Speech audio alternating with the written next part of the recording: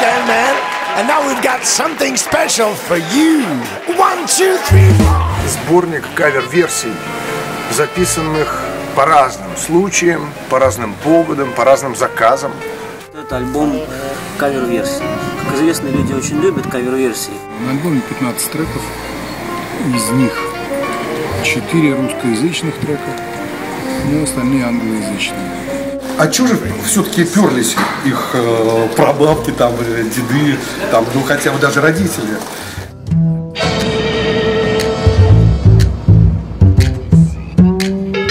Альбом получился такой очень полистилистический, на мой взгляд.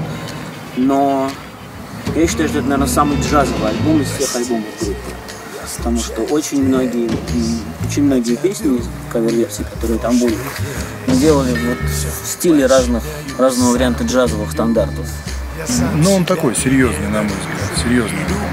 Не, не в плане настроения серьезно, а в плане, в плане того, что там сделано вообще внутри каждого произведения. Ортодоксальный бибоп, традиционный джаз, э, рок, где-то гранж, где-то это просто может быть знаю, авторское просто прочтение каких-то композиций. Где-то что-то предложили делать для телевидения, какие-то песни нам понравились самим, и это было наше решение.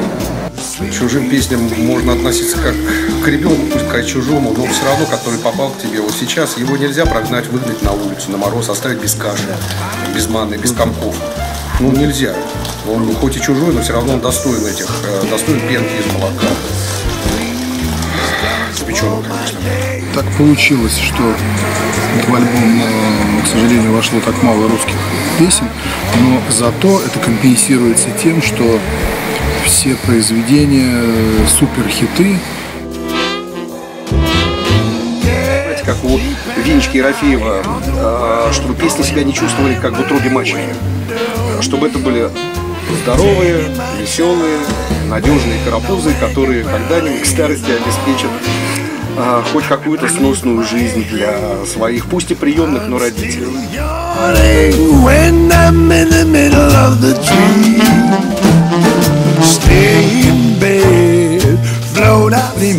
Мы тоже, в общем-то, как-то развиваемся, и здесь много всяких разных интересных мыслей. Ну и по музыке, на, на мой взгляд, это лучше и разнообразней сделано.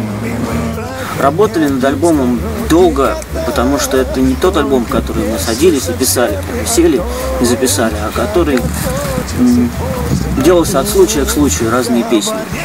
Я бы отметил такой трек, как Черный кот, такой, знаете, э, городской боб. Есть еще другая, скрытая, завуалированная э, идея. Это песни, как ни странно, бродяг. One way ticket. One way ticket to the blues. Билет в один конец. Билет в блюз. Русский вариант этой песни «Синий, синий иней», ну, как бы лег, в общем на провода.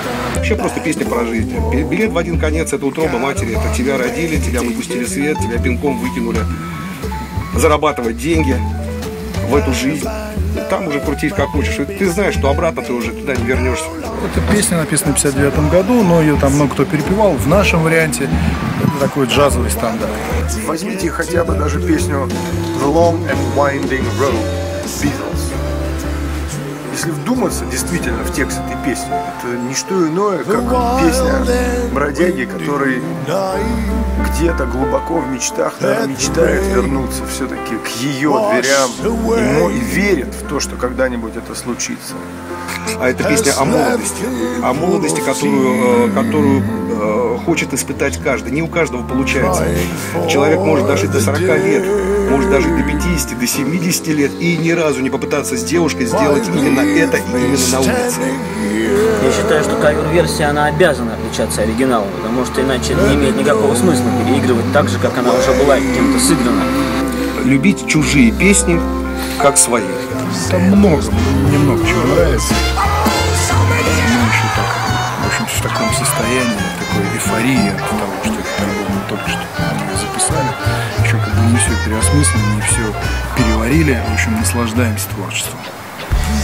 Сейчас мы э, еще некоторое время побудем здесь, потом у нас начинается концертный тур, потому что чужие, чужие, они не ждут, они должны, они торопят нас. Есть прекрасные песни, каверы, которые мы делаем, но все-таки свое творчество это важно. Корни есть вещи на порядок выше. Сладко, постой, куда спешишь?